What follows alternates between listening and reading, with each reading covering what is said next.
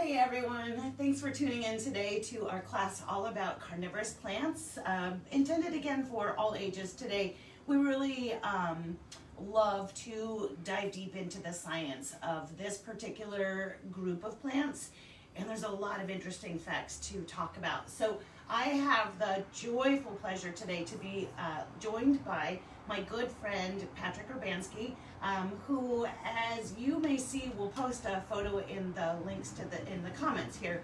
We'll post our handout as we normally do, um, but I'm also going to post a photograph of the very first class I taught with Patrick years ago now when he was just about 12 or maybe 13 years old.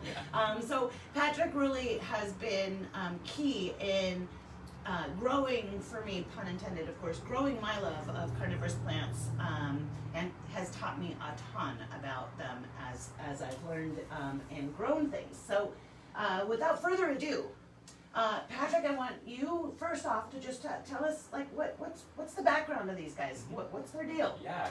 Well, carnivorous plants, they're native to almost every continent in the world except Antarctica. Um, there's a, quite a few actually that are native to the United States, including a lot of our Sarracenia, um, a lot of our flytraps are only native to North Carolina actually. Um, and then there's also a lot of tropical plants that are native um, to Asia and um, other places around there. Um, they, the sundew right there, very, very full. one of the easiest carnivorous plants that you can grow too got a bonus fern yeah. uh, hanging out. So because, and you can see a little bit as we handle these plants, they may drip water. Um, so they're bog loving plants as we'll get back into, but they've just come out of like trays of water, um, which ferns don't seem to mind either as many of us know. So sundew. Sorry. no, you're fine. It might, you might be surprised to know too that there are actually a few carnivorous plants native to Oregon. Um, there's a few species of sundew that are, they're sundews, they're very little.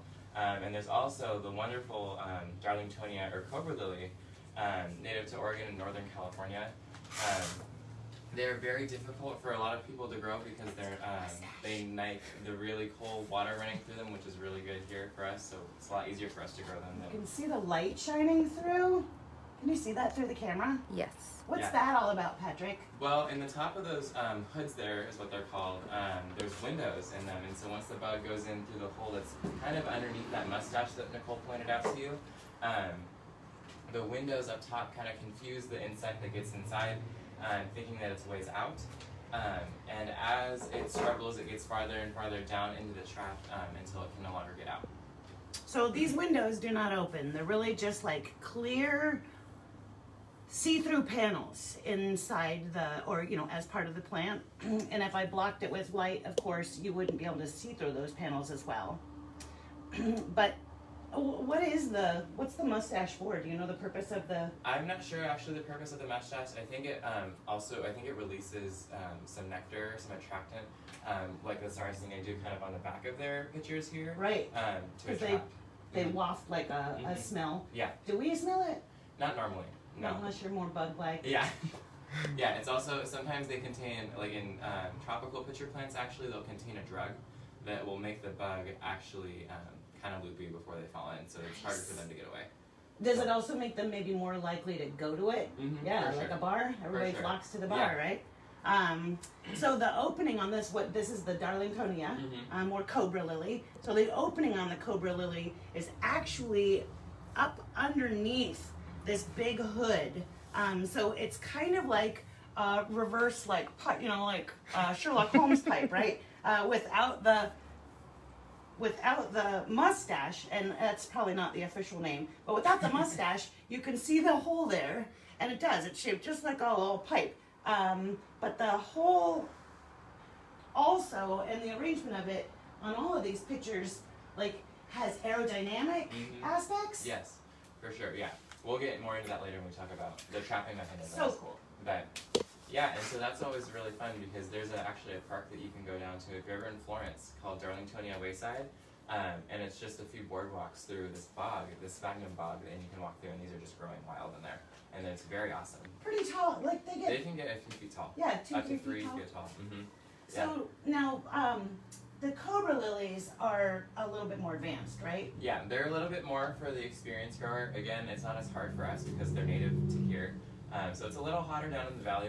They're not as native here, but they're um, they're pretty. They're a little easier for us here in Oregon, at least, to grow Well, other and I- people. Yeah, so Patrick's set up to make them really happy. Um, he's got a really great, ingenious setup um, where he's just got a very small, um, like a tabletop fountain pump that runs from a lower water reservoir and actually circulates running water or fresh running water through his potted container of cobra lilies, which mimics their Yeah, they really like growing along um, um, like slow moving streams or in cooler um, bogs that like the soil keeps cooler, so that running water really helps keep the soil cool.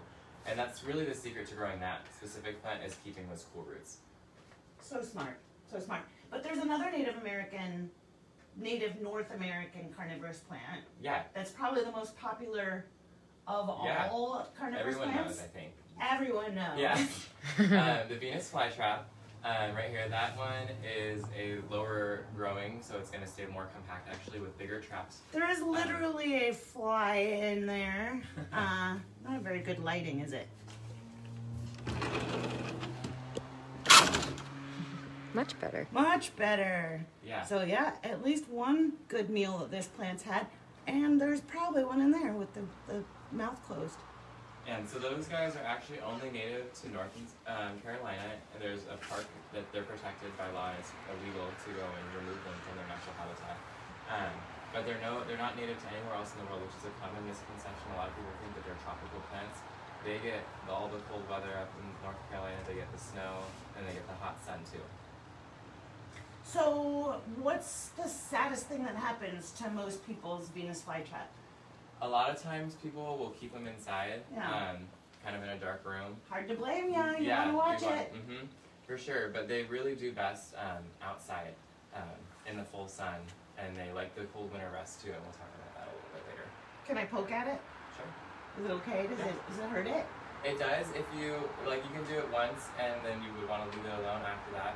Um, it can waste a lot of energy that the plant because it takes a lot of energy for the plant to close the trap. So I mean, if you want to do it once every so often, that's okay. But you don't want to keep doing it because it'll it's wasting energy and it's not getting anything back. and you're Nothing not for catching yeah, any no reward. Mhm. I'll hold off until we can maybe show it as we talk about Yeah, what it for sure. traps.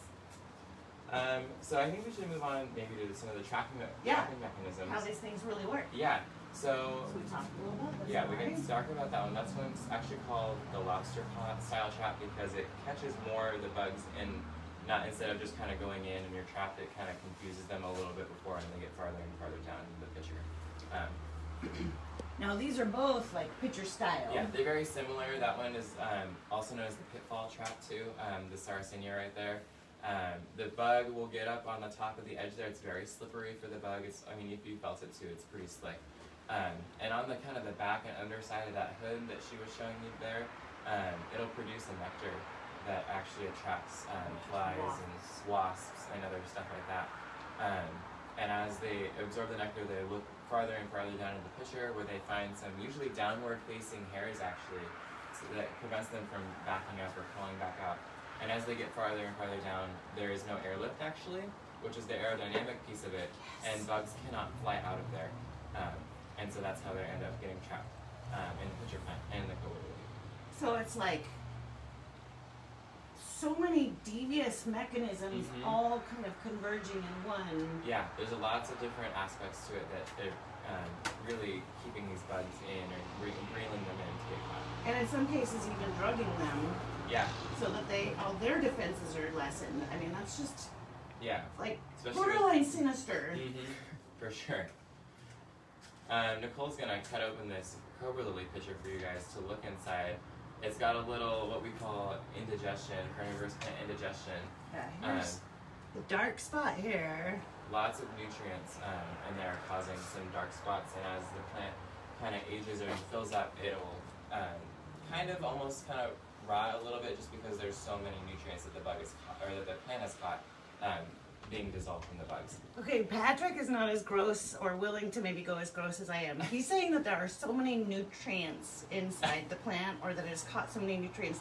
It has caught so many bugs in its little plant belly here that this picture is full up to here on my fingers. So its little belly actually runs all the way down to the base of the stem. It gets skinnier and skinnier as the bug falls in here, we already talked about how it's lured in there in this, you know, in the first place. So it is, you know, lured in with candy or the smell of a pretty sexy bug or whatever, you know, different ways that it's lured in.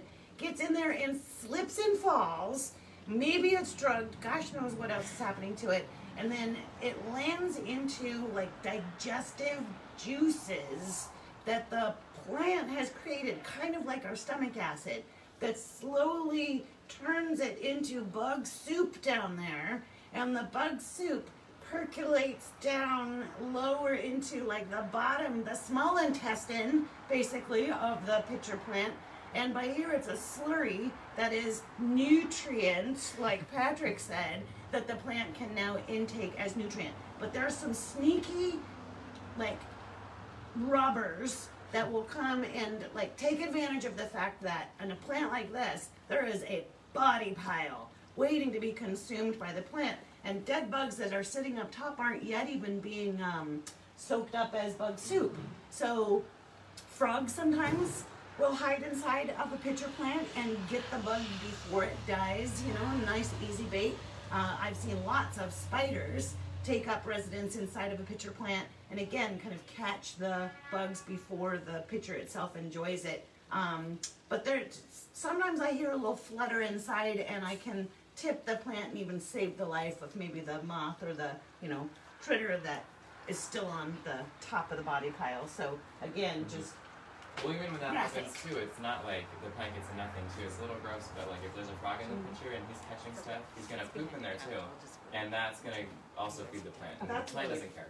So, um, actually, in the tropics, there's um, a tropical binding pitcher plant. Um, they're called nepenthes. There's um, one relationship with a certain plant that this tree shrew has that it will actually tree use. shrew, Mm-hmm. kind of like a monkey-ish type thing. Yeah, little rodent kind of thing. Um, they actually will use the pitchers as toilets. Oh Um, my gosh. They eat the um, nectar that the pitcher produces. They lick it off the top, and then they um, use them as toilets.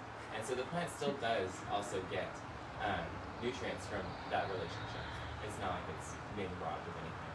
Looks like Patrick will go a little bit more graphic, just with some encouragement, right? All right, and while we're getting gross here, I am doing some major surgery to get in to the inside of this pitcher plant to really show what it's caught. And then we'll move on to the next plant because these guys are just fascinating. Um, now, one of the things, and again, we'll, we will reiterate this as we go along. Pitcher pitcher plants, Sarracenias, the majority of the plants that you see in the background here and what I'm holding, these are quite hardy outdoors in our climate. Um, mine grow in containers, in potted containers, um, outside with minimal winter protection. And they, they, they work like a perennial. So every winter, the kind of old stuff dies back, and then by spring, we like trim it down, and every year, then it puts out or grows out new pitchers and new plants.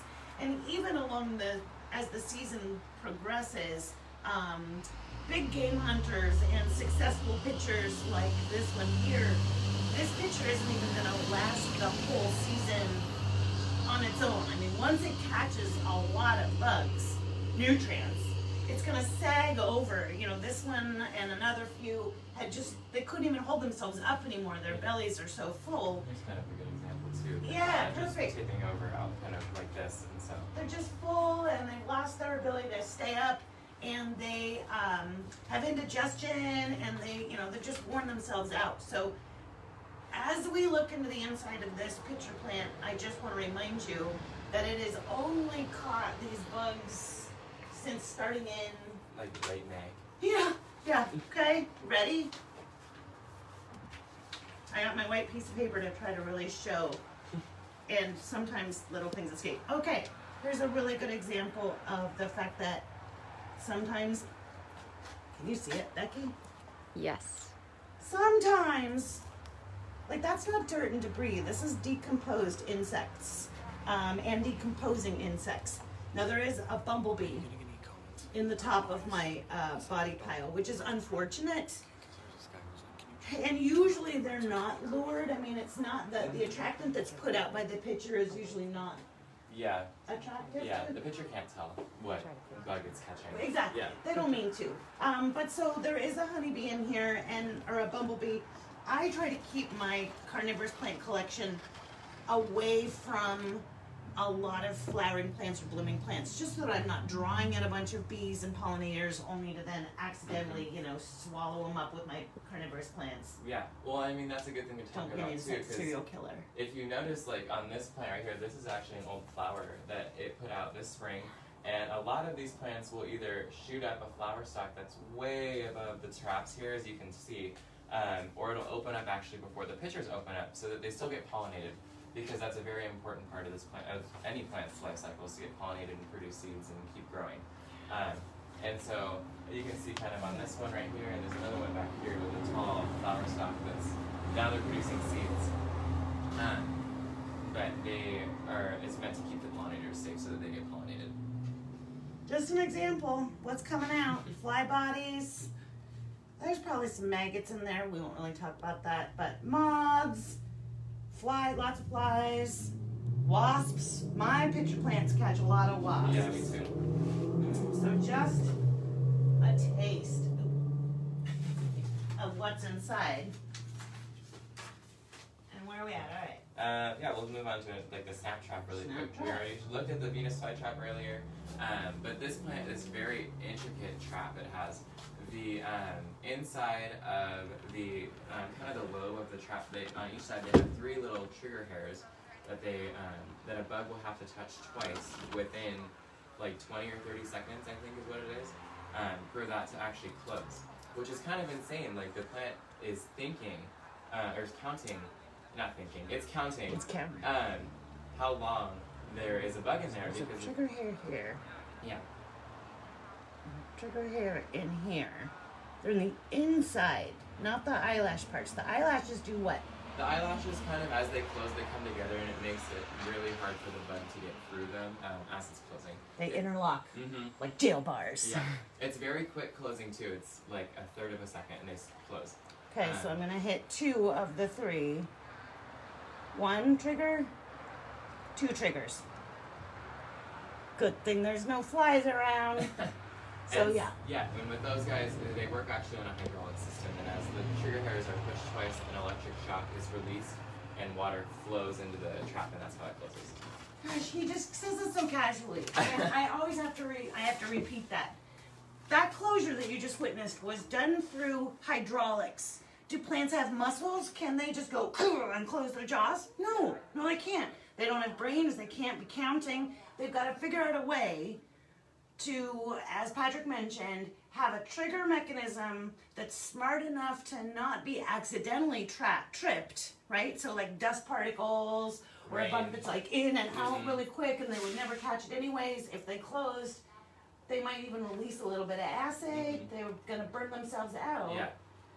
So the mechanism it's closing with is hydraulics, using water and water pressure and a fast movement of water, and the movement is released, the water is released or triggered through an electrical buildup. An electrical signal builds up inside the plant and then trips basically like a little flap or trap door in there that allows water to gush into the in the, the mouth portion which the way that it's folded sort of origami style forces that mouth to trap shut. And even after all of that too, if there's nothing moving inside the trap, it won't keep closing. So once something is moving inside the trap, it closes tighter and tighter um, until it gets to the point where it can digest it. But if there's nothing moving, it's not going to keep using energy to close. Yeah, So- so, actually that's a good point because the one that we tricked is this one here and it is more loosely closed than the one next to it which probably has prey in it and then of course we've got more closed ones as well that are that must be digesting. And then they get to a point where they like just wear out, right? They've Yeah, eaten enough and after then they die. like a few closes, they the trap is kind of spent, and so it'll replace it during the growing season. Um, But this and- one's brand new. yeah, There's another brand new one being born in the you know, so each trap is what expires, not the whole plant, just the you know, just the mouth. Yeah. And then another kind of trap we have is kind of the sticky trap or the flypaper trap. Um, this one's more of the sticky trap. It's a sundew. They've got these nice little almost tentacles that come off of their leaves. Um, that produce like this really sticky, shiny dew that bugs also think is nectar. Um, so once they land on that trap there, um, they kind of struggle and they get more and more stuck as Nicole showing you. It's very sticky. Um, Very sticky. yeah, and then those that specific sundew can actually move its leaf a little bit and it curls around its prey. Um, and can then it see will, some curled. hmm It'll release uh, digestive enzymes just directly from the leaf onto the bud there, um, and then reabsorb it that way. You don't see it curl though. You never really see it. You can't watch it. No, you can't watch it. It's very Yeah. slow. Yeah. So this is a sundew. Uh, this is a type of sundew called Drosera Capensis. capensis. And another, Right, yeah, that one right there is called Drosera tracyi. Um, and that one is a hardy plant, so that's something you keep outside. But there's sundews for indoor and outdoor, which is great because the outdoor ones, they really will catch flying um, like moths and mosquitoes, which is helpful. Um, and then the Drosera capensis you can keep in the house, it'll catch houseflies and uh, fungus gnats and all those kinds of things.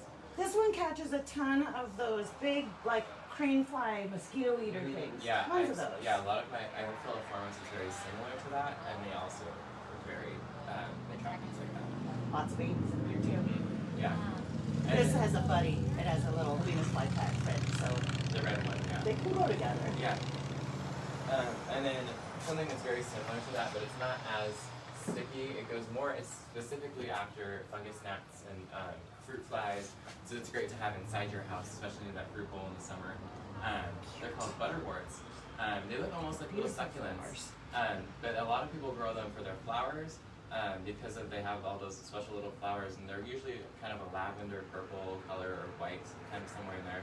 There is one kind that has a red flower, and people like that one a lot. Um, The bugs on there. yeah, and those guys will catch small flies, fruit, uh, fungus gnats. They really, it's really nice to have in growing space too because they catch all the fruit gnats if you're having problems in the Another, house. another bloom.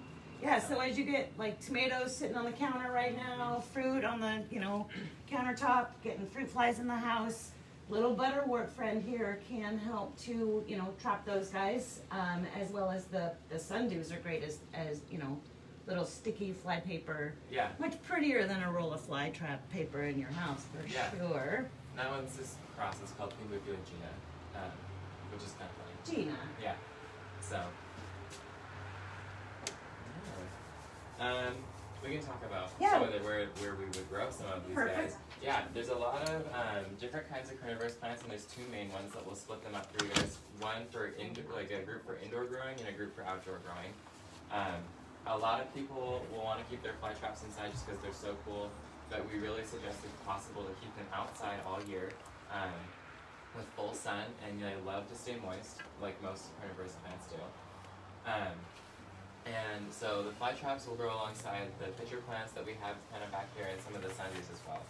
Um, If I had two fly traps and I wanted to keep one inside mhm. and rotate it out, I mean, you could do that, but again, it's they um, with these hardy plants, they really like that winter chill. Um, so if you were able to provide that somehow inside, you could definitely do that. Um, but they really like to take a break in the winter. They stop growing. With fly traps, they get really small, close to the ground traps. Um, they kind of lose all their outer, bigger traps. And the Sarracenia, you kind of just give them a big haircut and they go all the way down to a rhizome that they have there um, until springtime. And they just kind of sit dormant for the winter time and then they will regrow in the spring. So, right? um, it's also hard too sometimes inside to replicate that full sun that they like. They they can do okay with three to four hours of full sun. They get a little floppy and not as colorful, but they really like six hours. Yeah, here's an example of kind of one that hasn't been in full sun. They're a little floppy. There's a lot of those non-carnivorous leaves. Um, flat ones. Mm -hmm, yeah, to get more photosynthesis because it's in a lower light um, Oh, area.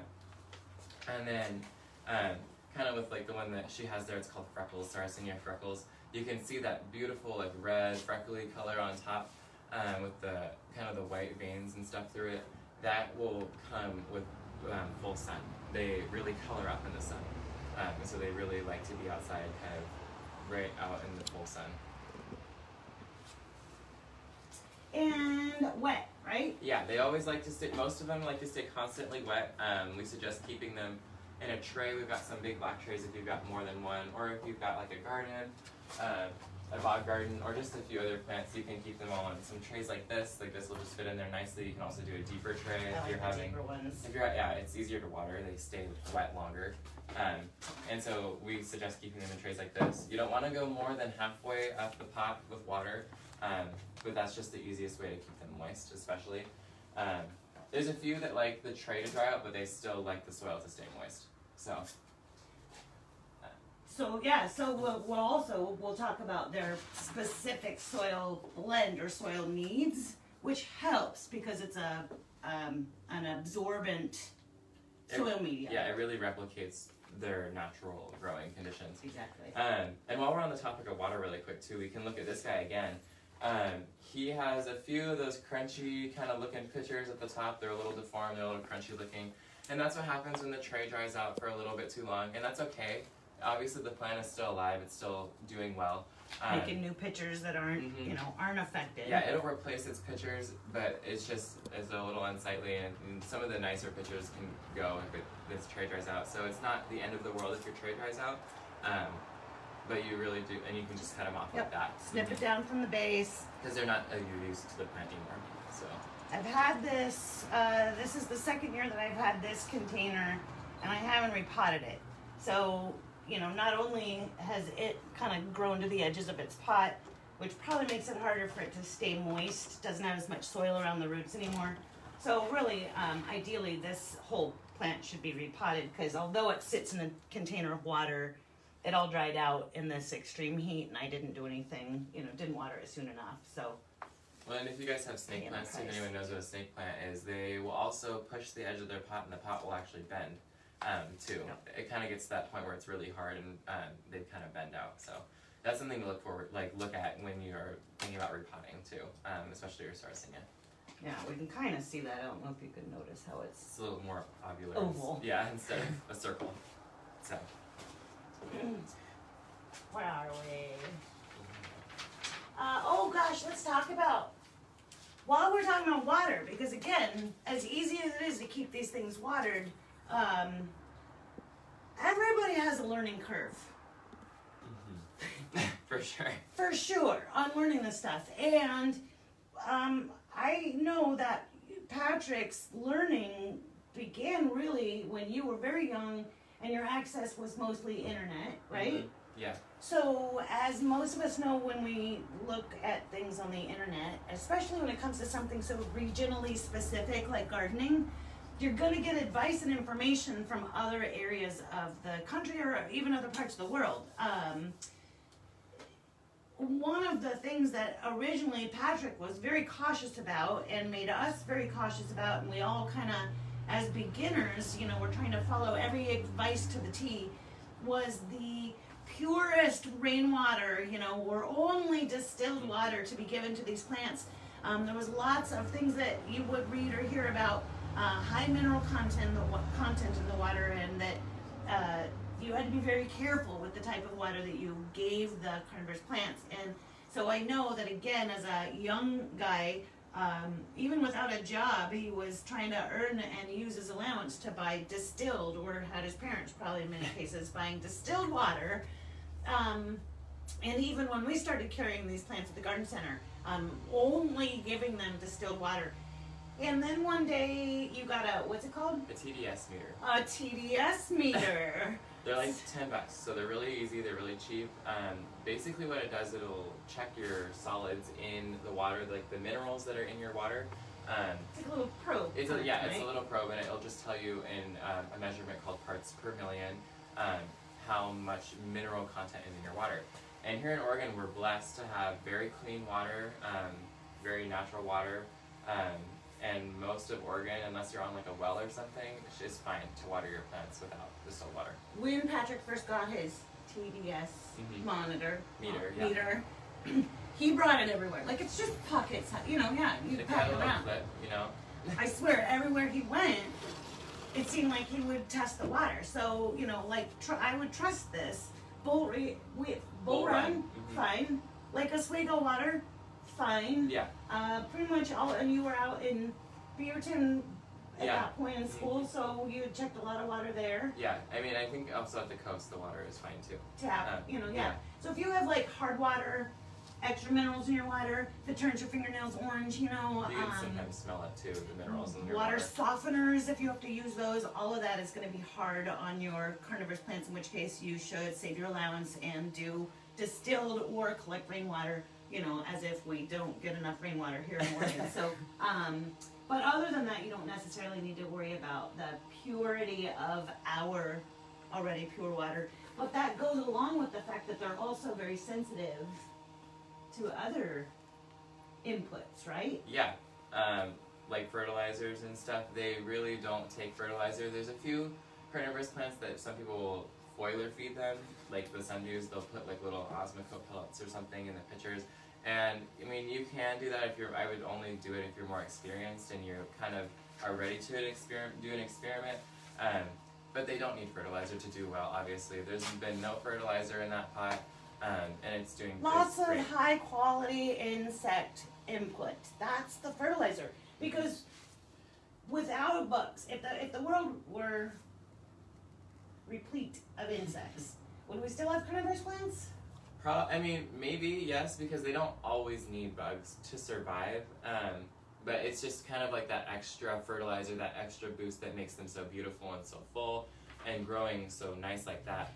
Um, yeah, There's the little mosquito eater crane fly guy I was talking about. they naturally grow in really low uh, nutrient acidic soils in peat bogs, so peat moss, um, and there's very there's no there's very any like to little to no nutrients in there, um, and so that's why they have been able to catch these bugs. That's what they're doing. They're replacing the nitrogen that they don't have in their soil.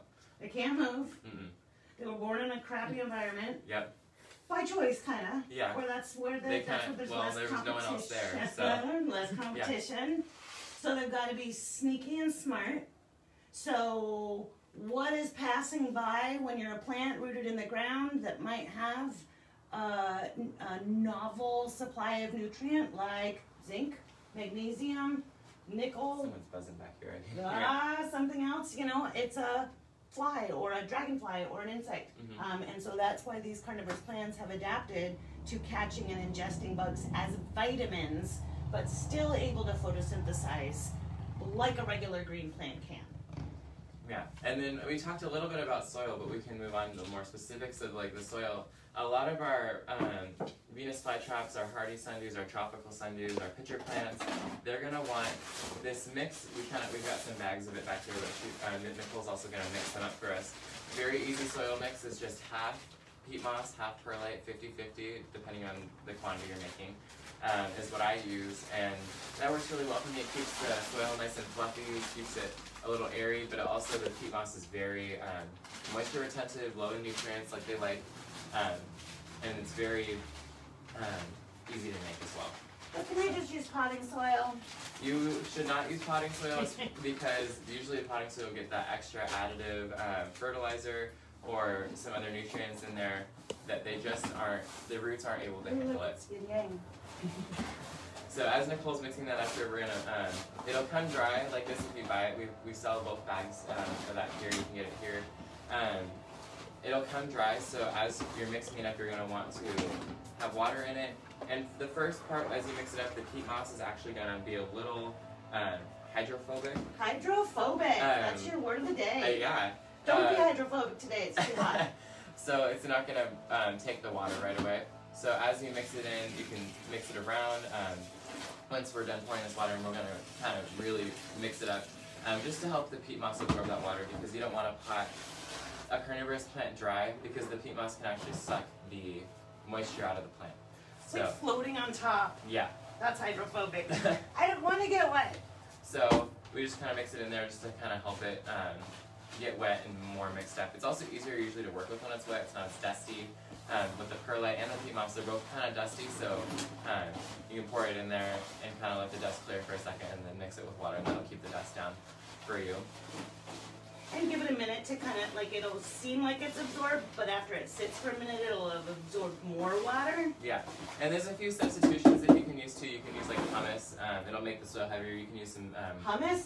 hummus. Ah, Yeah, hummus. hummus to make the soil um, a little bit, it'll be heavier. Um, and then you can also use use sometimes some wash sand instead. You can throw that in there and that'll help. Butterworts really like the sand. um, mix. So and then you can also use um, some people use just straight um, long fiber sphagnum moss, um, and that's just another. It's it's just a moss, a dried moss that's harvested from a bog, um, kind of just like the peat moss. Um, but Kind it's a, a specialty item. Yeah. A little bit. yeah, and they're, it's a little bit more expensive, and it's you need some of the more um, harder plants to grow will appreciate that more. But for all of these plants that we have right here, this is perfectly fine. Um, Nicole's gonna unpot this Sarracenia for us. We're able to look at its root system. Um, they usually have pretty extensive root systems. Um, I can show you right here. This guy, he's got all these nice um, roots coming out right here, all these fresh roots, and you can see kind of here. There's the edge of one of the rhizomes. And this plant is big enough to divide if you wanted to divide it. Um, we're not going to divide it. Um, but it's something that as you get bigger plants, and if you want to give them to your friends or whatever you want to do, have more, put it, spread them out in different pots. Um, you can kind of almost just break the rhizomes in half, and that's kind of how you divide them. Speaking of dividing, Yeah, so this guy, I actually divided this uh, last year um, from another plant, and I planted two pots. So I have another pot like this at home. It's a little bit smaller though, and this one really filled in. There's always a lot of little babies. They're kind of hard to see, but there's a few little baby. If you can see the little baby leaves in there, uh, there's kind of one right there. Um, and the bigger plants kind of grow, and they grow new plants from the roots, and they also prolifically seed themselves. Um, the sundews, they kind of they're kind of the weeds of the carnivorous plant world. You'll find them in a lot of your pots. Um, I mean, there's this little fern here too. It's kind of like another, it's a little hitchhiker. Um, but the sundews, they like to grow a lot. They'll grow alongside sarracenia. They'll grow alongside any of your tropical plants. Um, they kind of just, as long as they're growing with other carnivorous plants, they'll do fine. Really, um, they'll see, The seeds will go, and they're kind of just everywhere. So that's always fun too. You can either give them to people, or you can um, divide them like I have for mine. And so this is a nice, really full pot. you know what? I'm gonna go ahead and divide it. All right. It's not hard at all. So I've just, it's already wet, you know, so I just got in there, got my thumbs in between, and you can kind of see the natural, back up just a little bit if you would. You can see the natural clumping of it. And so if I just use a little bit of force, you see, oh, it's so strong. I'm gonna pry these guys apart. It's best not to cut. It's better to just tear the plant so that they can kind of um, the pieces can go with the sides that they're more willing to go along with. Ha ha! So two gorgeous clumps now that I could either still repot together. Oh, look at that nice bud of moss too. Oh, That's yeah. that's a beauty. Patrick and I are both like, I'll take that moss. so nice, two nice big clumps. Ideally, this isn't the best time to divide. This was already a stressed plant, and it's um, it's stressful to have a division like this done. But I'll just give it a break. I'll keep it out of the hottest of the hot sun for the next little while. You can see like the biggest portion that was broken off is this little light piece here, but tons of healthy roots still on both sides, which is another way to kind of determine whether or not it's going to be a successful, you know, if you have a successful division or not is a nice big healthy root clump. And Yeah. so, and um, what are we going to talk about next, or what we have not talked about? Well, we can talk about this as we're planning this. We can talk about a few little companion plants really quick Oh, too yes. that we've had. Um, so And your bog. yeah, oh yeah. Um, so we can talk about. There's a few plants that um, that we have or that you can get that will um, grow well next to the carnivorous plants. So we were talking about that moss. Um, Nicole and I were both like, oh, we'll take the moss. It's really it looks really attractive on the top of um, your pots is like a top dressing. Um, there's also this um, little uh, kind of grass that's called sweet flag um, that she has some growing in her pitcher plants right there. Um, but they do really well too if you're adding, if you're wanting to look for some more. There's kind of some in the front there. It just adds a little bit more texture into the pot, makes it more um, just kind of full at the bottom, you know. And then on my cobra lilies right here too, there are some there's some green stuff that kind of looks like moss right here. Um, but it's actually a mint, a Corsican mint, um, and that's a nice little ground cover that will kind of just crawl over the top and keep the soil down, which is nice here too because it rains a lot here, so it'll keep the soil kind of anchored. Um, which is also another good thing about like moss and companion plants um, is that they'll keep the soil anchored from washing away. Does it matter what kind of container, really? Um, not necessarily. There's a few, like there's some obviously with like bigger plants we're gonna have bigger pots, kind of like this sarracenia here. It's got this nice big full pot, um, and the cobra lilies I have in a white pot because they like the cool roots, so that just helps. It keeps it reflects the sun. That's really smart. Yeah, so that helps with that. I mean, but you can do anything you again want to make sure that it's able to keep water, and if, with a, whether that's with a tray um, or in some other way. Um, there's some yeah, or cork. You can cork it sometimes. It's you got to be careful in the winter because we do get so much rain. You don't want it to overflow. Um, but that's another way to keep water in in the summer. So here the one that we just divided. I'm repotting the same two together into a bigger container. So just because we split them up, that's giving them more space to spread still and a slightly larger pot to grow in. Uh, but the division helps instead of just even repotting one big clump, you know? You can see, of course, my peat moss is dripping, but um, this one also, Patrick shows. Yeah, look at this weirdo. This will lead us into one of the last topics. Yeah, we're going to. I, ironically, um, carnivorous plants they do have a few pests, um, a few bugs that um, can cause them to be deformed, um, or have holes in them. This one is kind of deformed. He had something maybe aphids at the beginning of the season. The aphids really go after that fresh, new, um, brand new, like soft, juicy growth because they like to suck all the nutrients out of the new growth. And once, the, I mean, you can. So it's spring grows. Yeah, you see it later, kind of in the season. They're kind of deformed, so you just gotta look and make sure you, you can identify that. Um, and we'd be able to help you here too if you have any questions on pests. Um, I just let it happen, and that's what happens when you let it happen. yeah, they get kind of wonky a little bit. It's a little forward, and he's got some little. He's got kind of like these um, little kind of ribs here that have, that aren't really natural. They're just um, there. They also get slugs sometimes. Um, a lot of people have problems with slugs here. We just have a lot, and it's been a bad year this year.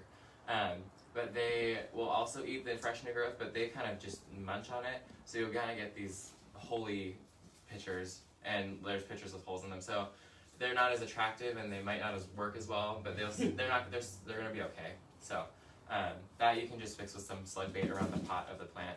You wouldn't necessarily want to do it in the soil because again, it's slug bait is usually iron phosphate, and so it'll make the soil it'll add some nutrients in there. So just a little bit area around it is fine. Speaking of, oh, one of mine had um, a chew out, a breakout. Oh yeah. Hmm. Well, so occasionally, and it happens more often with um, wasps. They've got their big mandibles. Yeah, which you know they're big gnashing teeth. So wasps can sometimes get trapped, and as we mentioned, the especially the sarracenias or the pitcher plants. And again, if, you guys have handout uh, or questions, refer to the handout that we attached to the blog, which will give you both the common names and the botanical names of all of these. The pitcher plants or sarracenias are exceptionally attractive to wasps and members of the wasp family. So they're great to have near your outdoor dining area or where you sit and read a book, you know, um, just because they may somewhat lure wasps to the area, but then they capture and attract them, so they're not going to come over to you and your book and your iced tea. But the occasion when an extremely feisty wasp is captured and perhaps lands into a pitcher that has a high body pile or you know isn't full uh, or isn't you know going down to the bottom, the wasp can chew its way out. Yeah, there's a good. So an insect can even attempt to chew their way out and fail. Um, there have been, you know, like their head sticks out as the bug dies, kind of thing. That's kind of graphic, but you can see a little hole in this one here, where down towards the side where an insect has gotten inside and then tried to chew its way out, but did not fully uh, succeed before it succumbed to the digestive fluids. So occasionally you'll see a little hole in the side, which again, you know, is probably going to then lead to further escapes uh, by other insects to get caught. But you could just then snap, you know, snip that tr- uh, picture off um, and just prune it early. Yeah. But you know, look inside and marvel at the success of the hunting that it did have beforehand. It's always a really cool experience. Yeah, and then real quick, I want to talk about too some of the ways you can put these together um, in different arrangements, kind of like that we have up here. Um, so this one is just mainly cobra lilies because they're a little special and they're harder to find. and so they, they're just all together like that in this nice pot with the companion plants. With the ground cover. Mhm. Uh, but like with this one here, this one's Nicole's um, personal one. She's got a fly trap and she's got a few sundews in there. I can see there's a few little baby ones that have made their way into the pot. I see some Drosera capensis and some um, tracyi, and then the big one right here. Weeds, basically. Yeah, the very big one right there is tracyi. Um, and that Venus flytrap, and they will grow fine together, and they're outside all year, so those are the hardy ones. Um, and then also, I have at my house, um, I'll, I think we'll link a picture to it a little bit later. Um, I've got this big bog garden that I've dug into the ground actually, and to keep it separated from the outside soil, I've got some pond liner in there. But about a few inches up, there's holes in the pond liner um, just to keep it draining in the wintertime. So it's got a reservoir at the bottom, but it's so it doesn't overflow in the wintertime. And it's pretty, I think it's probably three or four feet long by like two feet wide.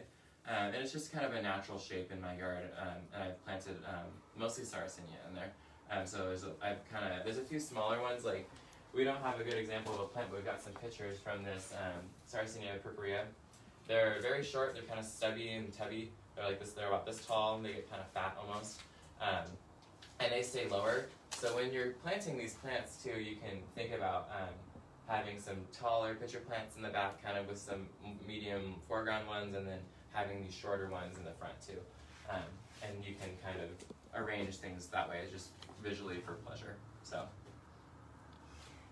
I think we nailed it. yeah, And from uh, here, we just want to encourage you, of course, to not only uh, either stop in or shop online. Um, at the moment, the majority of the carnivorous plants that we have in our inventory are the Sarracenia or pitcher plant variety. We will be restocking uh, Venus flytraps and sundews and butterworts as soon as they are available. Just right now, it's only the pitchers that are available. Um, check back. And of course, if anybody has questions, go ahead and put them in the comments and we'll answer them afterwards. Thanks so much for tuning in. Happy gardening.